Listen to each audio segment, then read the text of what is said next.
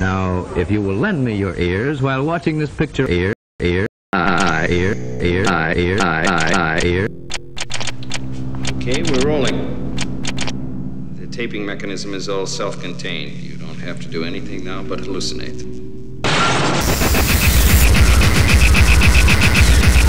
I think we live in overstimulated times. We crave stimulation for its own sake.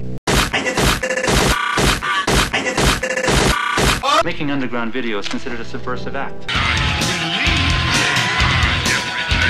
Violence is a very horrible thing. Feel the visions coalesce and become flesh.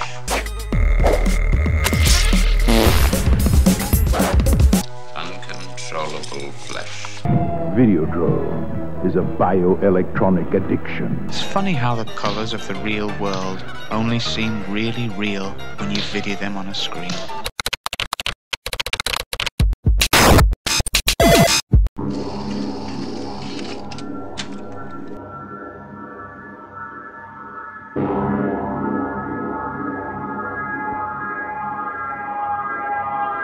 The